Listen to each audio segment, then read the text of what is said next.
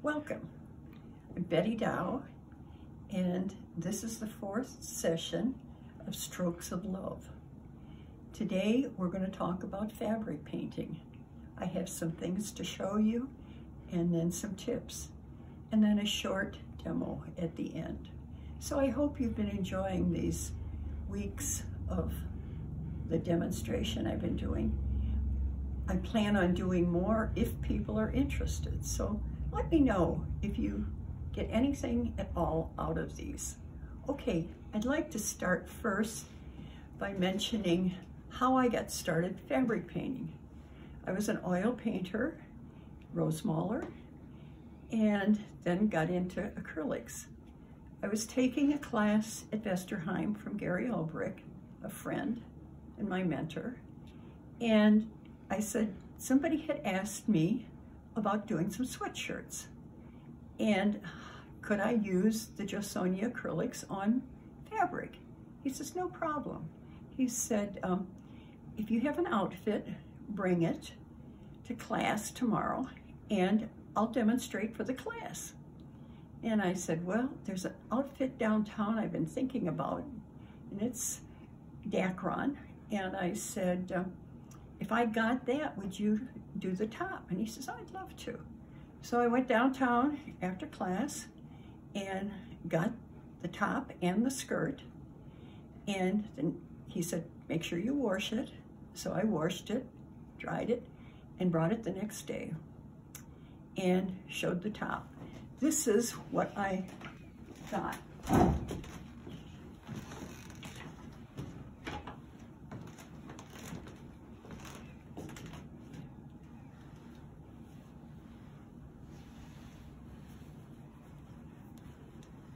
I got this top, and this is what he demonstrated. Then he looked at the skirt and he says, oh, that's cute. We should be able to do something on the skirt too. So he put that on the skirt. And then when he was finished, he says, happy birthday. This is your birthday gift. So I have enjoyed it through the years.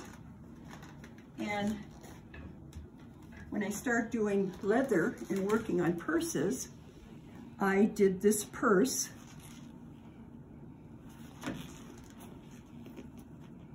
to match the outfit so that at Nordic Fest time, I was stylish.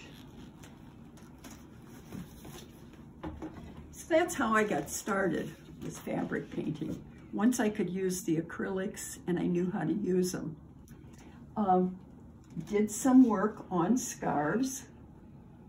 And working on net or silk is very easy. The brush slides beautifully. And then here's a jumper. Wear a white long sleeve with that. Here's a couple of sweatshirts.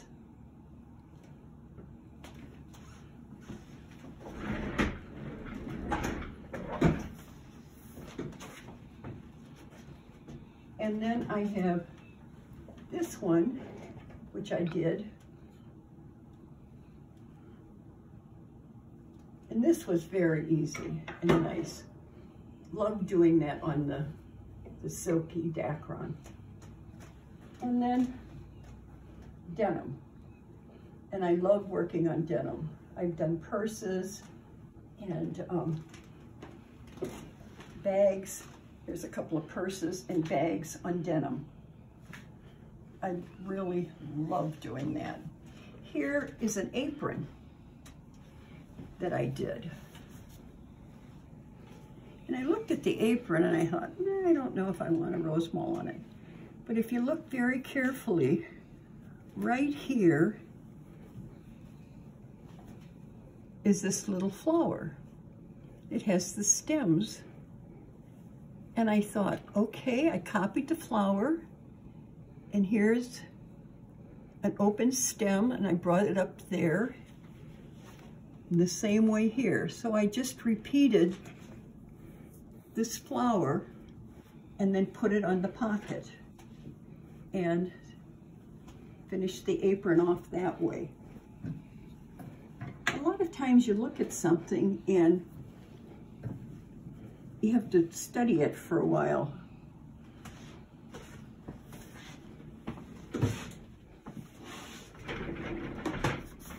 Then napkins are a great small project that I'll teach in classes many times because starting fabric painting, you can do a napkin and it only takes, you know, within an hour you can demonstrate they can do it and be finished. And so here are some of the, the napkins.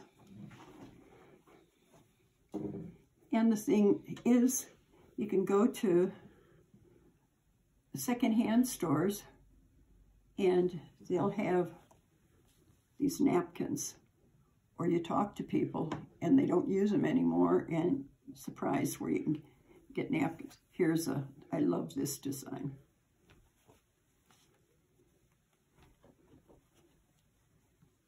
And then just a napkin with one shade on it.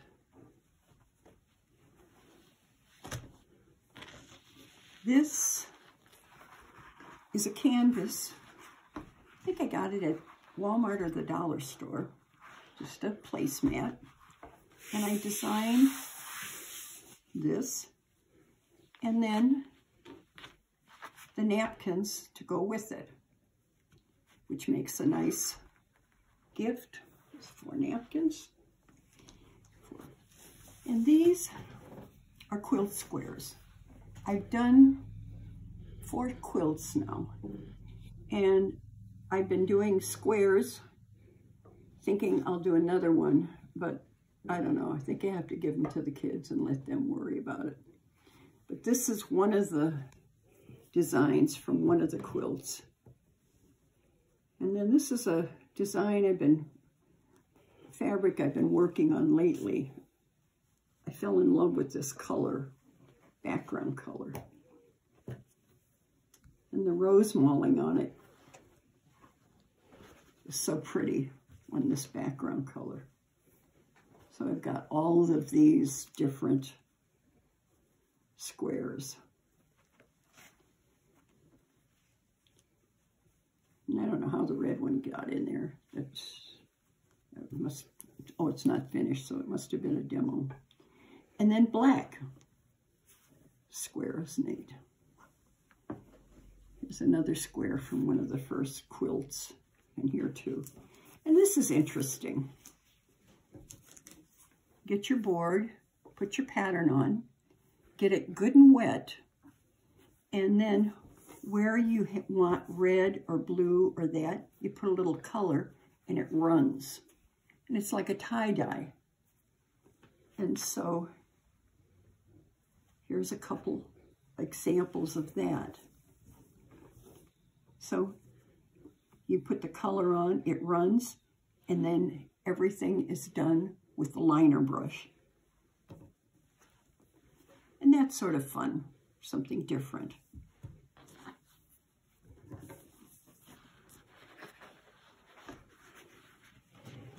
Here's another napkin out here.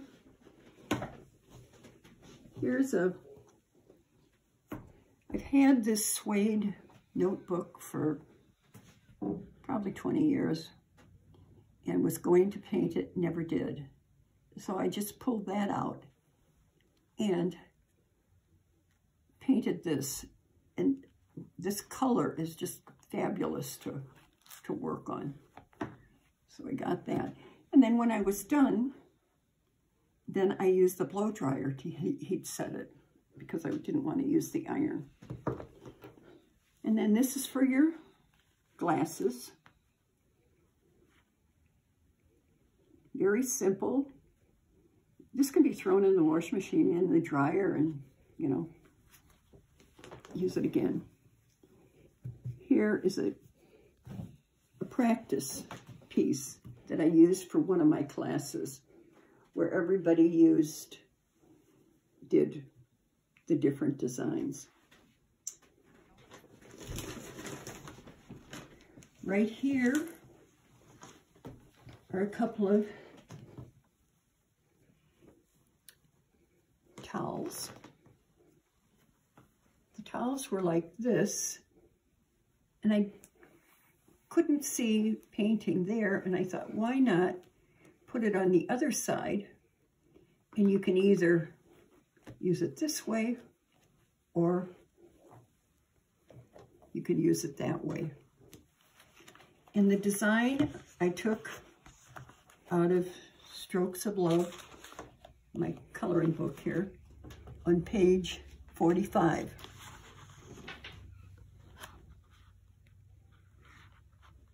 And what it is, it's a half of the design. I just took half of the design. And most of the things that I've been painting, I've taken flowers out of here. Here's also that page where I did the whole design that I could use on the apron here. This is this friend, Claudia Girl, does aprons and purses. And she asked if I would Rosemale some. And so I took the designs out of my book and did this pocket for this apron. It's not quite finished. The ties have to be put on. And then I used the various pages of the book and did these designs. And then this is a bag.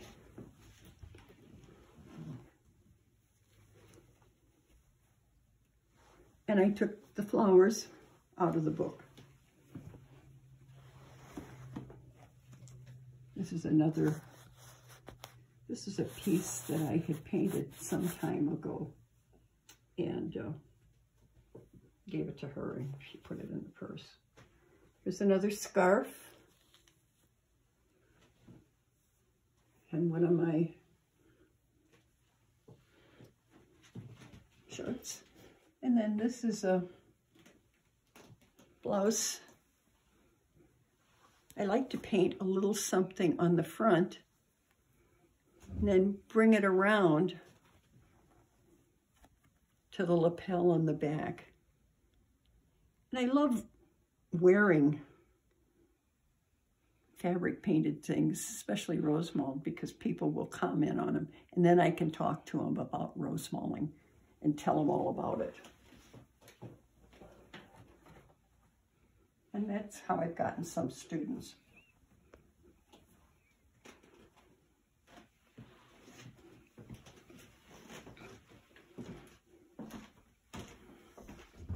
Okay, I'll get this set up now for the demo while Marsha shows close-ups of, of some of these things.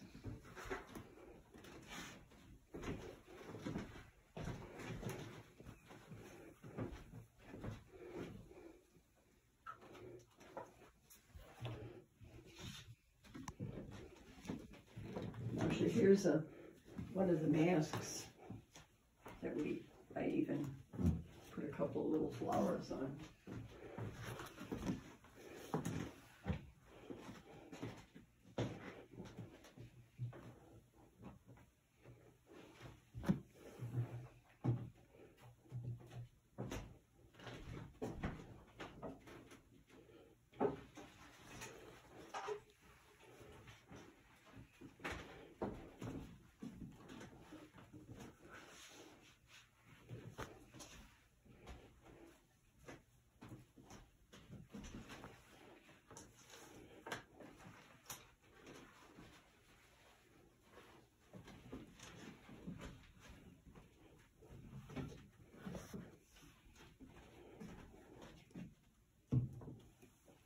On those sweatshirts, there was a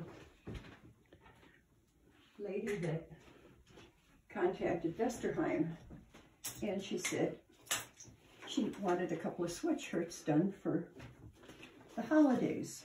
Did I know, did they know anybody?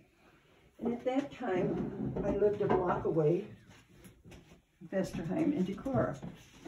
And made the they made the comment, oh yeah, Betty Dowe down the street is fabric painting now, and gave them my phone number. So she gave me a call. This is the 1st of November, teaching two classes a week, four kids, a lot of extracurricular activities. And um, she said, could I mail you a few sweatshirts and would you do them? So I quoted her a price and everything and she said, you know, if I could have them by the 1st of December. I says, no problem. So I got the package and there were six sweatshirts. And I thought, oh, great. So she said, each one was a different color. And she says, you can put any design on you want. So I did. I got them ready for mailing and called her and told her that they would, I think she was in Indiana, they were on their way. And um, she said, well, you know, there's three more names, there's a couple of more names. She said a couple of more names of family that I'd like to give them to too. She said, now, would it be possible for a couple of more if I got them in the mail today? And um, I thought, oh my, she says, don't have to worry as long as they get here by the 24th of December because they'll be under the tree. And I said, okay, I will try very hard, which was really asking a lot because I had a lot of orders that had to go out at that time. I was doing birth plates and wedding plates and trunks, plus teaching and keeping up with my family. So the package came with four more sweatshirts. I got them finished and she got them by the 24th. And after that, I didn't care if I saw a sweatshirt for another year, but she was happy and they did turn out very well. Okay, enough of that. What I do is I have a board and I cover it with plastic and then I put whatever I'm using on it, and I tape it down so it's taut. And this is a board that I put the piece that I was showing here that I did on the towels. This is another towel that I'll do. And so this is ready to go. I thought today I would demonstrate this napkin. And this is the placemat that goes with it.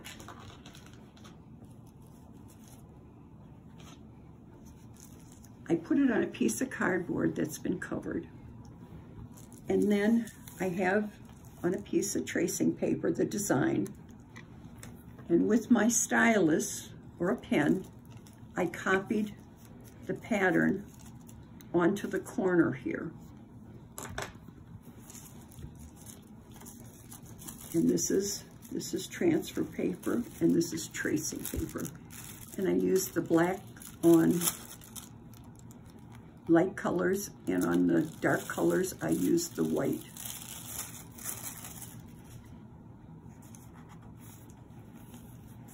And this design is on page 65 of the book. I took that out of there.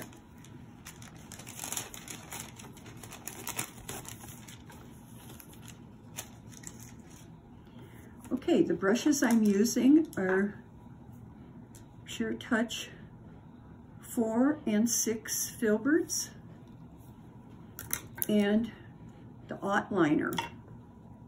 Plus, I have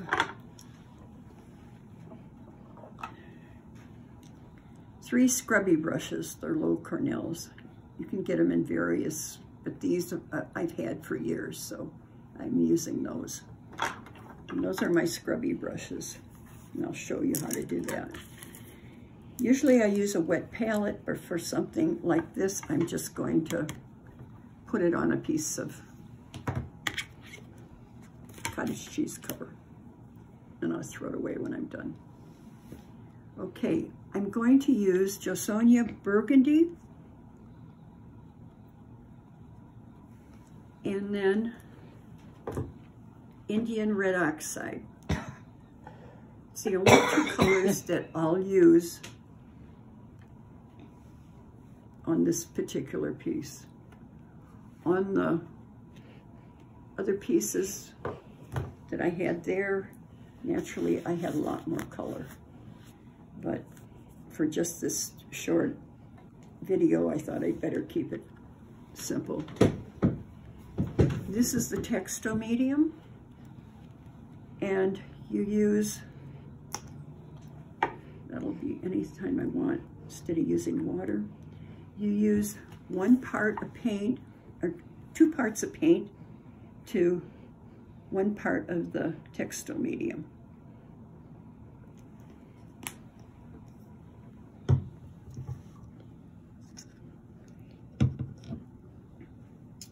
And I've got my knife here. I will mix it up. You see some people mixing it with their brush. That's fine too. But it's keep the brushes in good condition and you don't have to buy them so quickly. It lasts longer. The one thing I do want to mention that when you're using any of these mediums, especially this particular textile medium, you want to make sure that you clean the brush afterwards. And I use this um, brush soap and cleaner and get the paint and the medium out of it because otherwise it gets real sticky. And uh, if you go to use it on, you know, other painting, but I use the same brushes. I just make sure that they're clean well.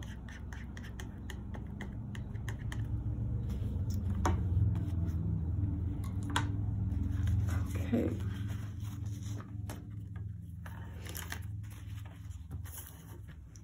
And the one thing you don't want to use is water, unless you're doing that one particular style. If you want to get any moisture, you just go into the medium. And I'll edge it or side load it in burgundy, the lighter of the two. And then I'm just going to go around and do C strokes, which is C here, C.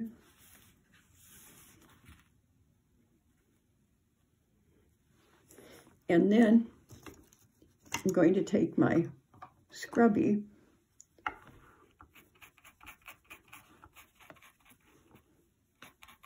and bring it in.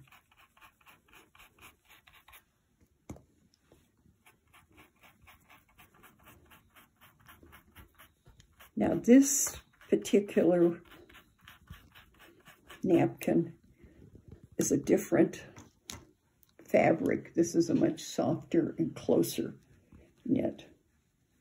So it's, you run into a lot of bumps.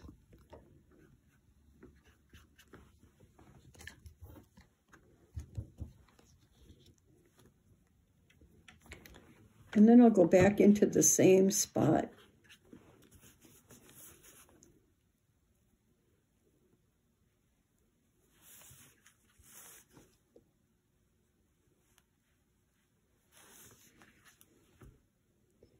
And right now I'm just doing the leaves because anything underneath the design is done first. And the tulips on top and the leaves are under.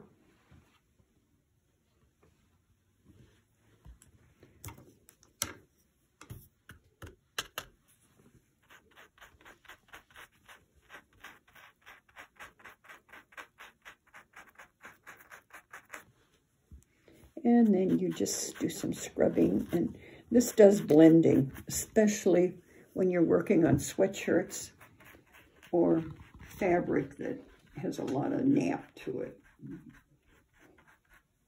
But you can get it into the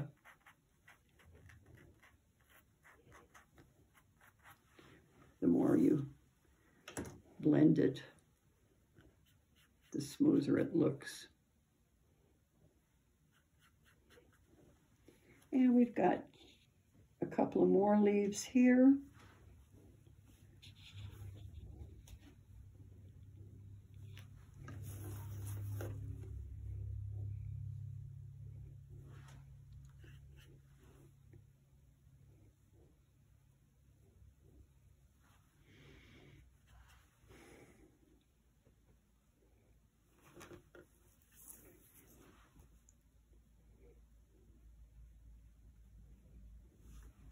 And I'll take my scrubby brush. And the one thing you want to make sure that when you're doing something with many colors, be careful with your scrubby brush. Make sure you have several of them because I was working on one, out, one outfit and grabbed it and it happened that I was had had it in another color. So there I had a color that I did not want in that particular spot.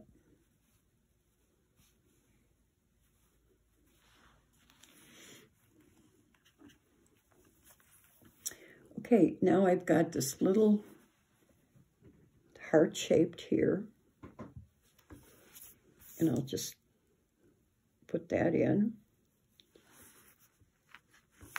Then I'll do the tulip. And then the line work, and we're done.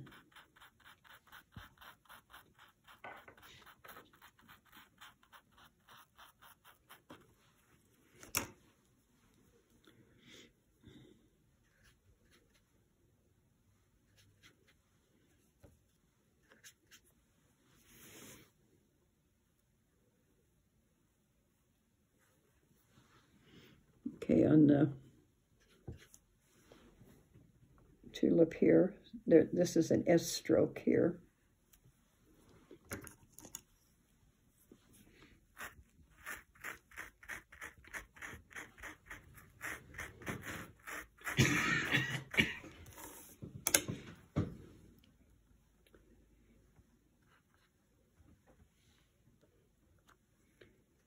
and S stroke on the other side.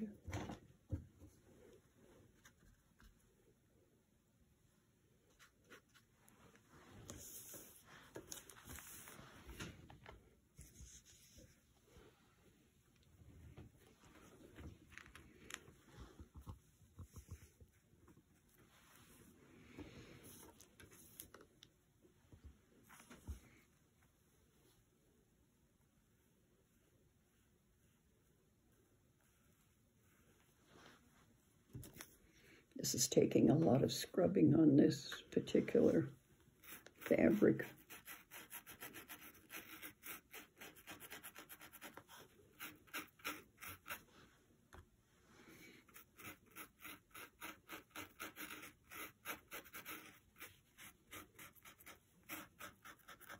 That's why I like working on fabric like the blouse that I've got on because that is like working on a fine piece of wood. It's easy.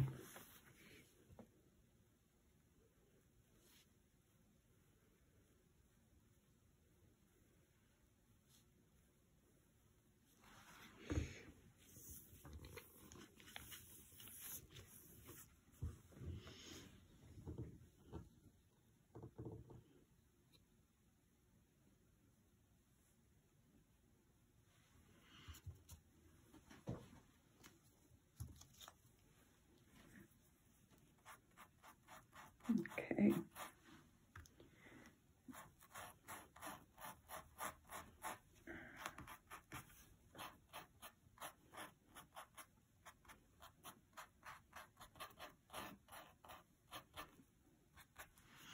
Okay, now I'm just going to take my liner brush and I'm going to take the darker value and outline it and put the line work on it.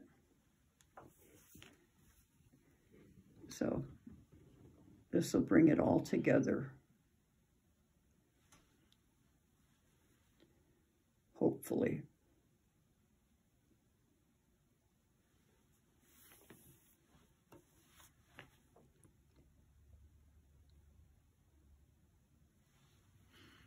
Other day I was doing something and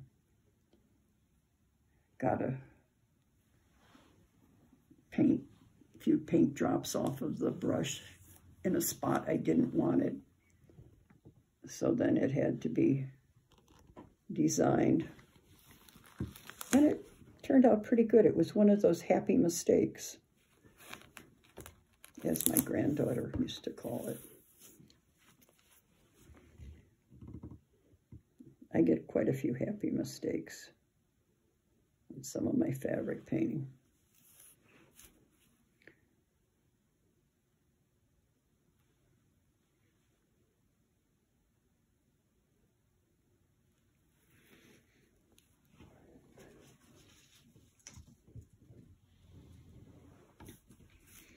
Okay, I'm going to put some vein lines in these leaves.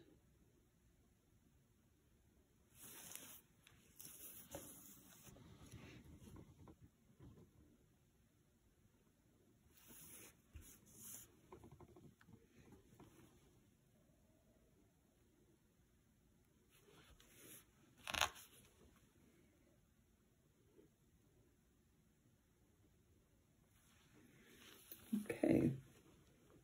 Then according to the pattern, always good to look at the pattern, see where you're supposed to be. It should be the same as that one, but who knows. Yeah, I think it is. So we've got some tears here.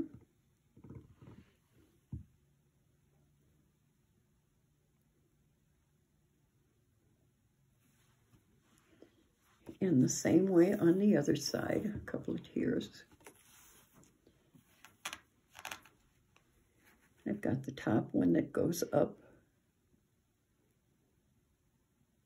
and then the bottom one goes down.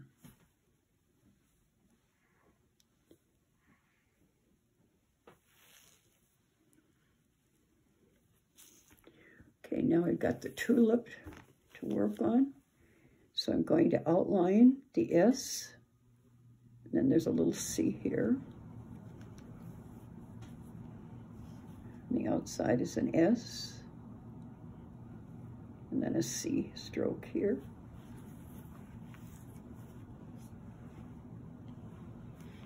And then from the center here, it's going to come up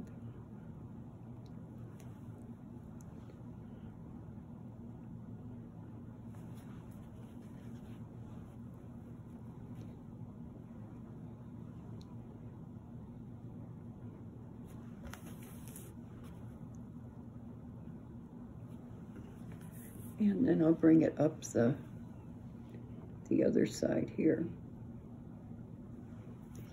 And then put a little, few teardrops in here.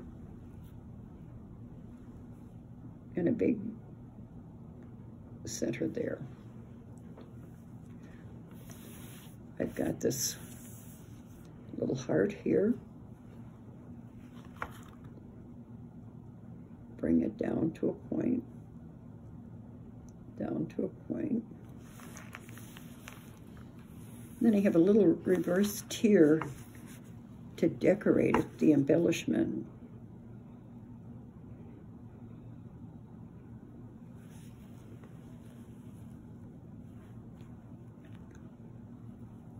And then the stem lines come up.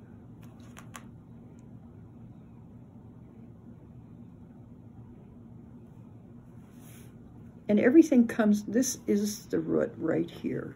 So everything should come from there.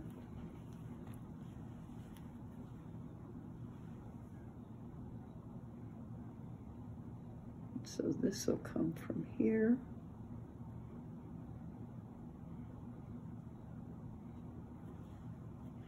It really looks ragged with this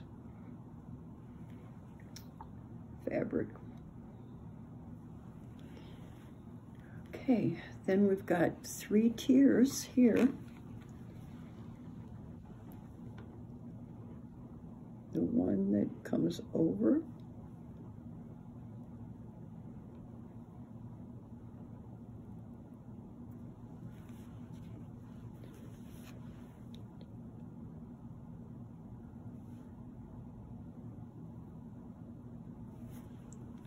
And then go back over if there's anything that needs to be touched up sometimes after it dries.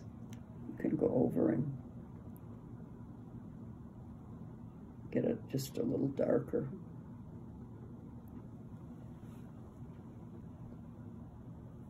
And then I always sign my name and get a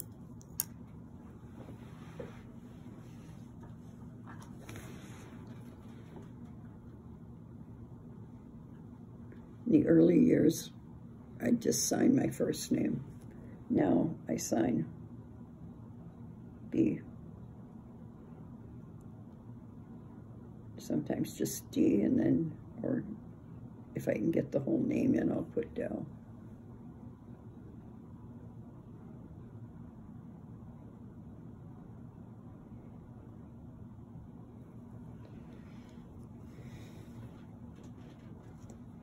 And then it looks like I need a few more tears right here at the bottom to finish it off.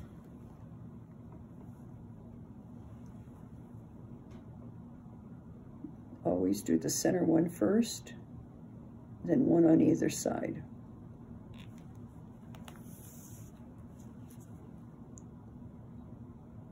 Center one and one on either side.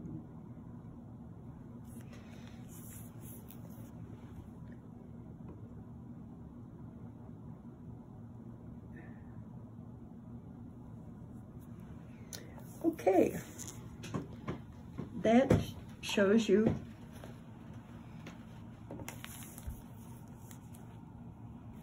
a quickie on fabric painting. You want to make sure that whatever you're going to use, you wash to get any starch out of it or anything like that. And you want to make sure that you do not use softener.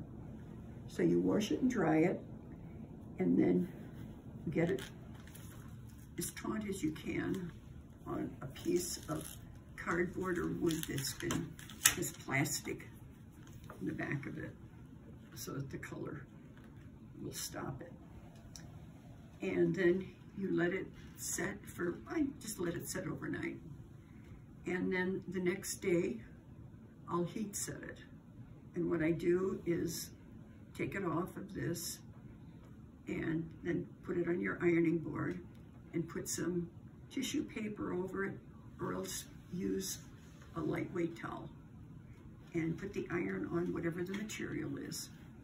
And I usually put the iron on and count to 20. And then I'll do the back side too. Uh, and that's how I do it when you're mixing your paint, it's one, two parts paint to one part of the medium. And what I like about this is that I did a, a towel rack and um, I painted the towel rack. And then I thought, okay, I'll paint the towels too. So I had the, the palette from the towel rack and all I had to do was add the textile medium to it, and I had matching colors. But it's one of those fun things that, you know, you can do and try and uh, experiment.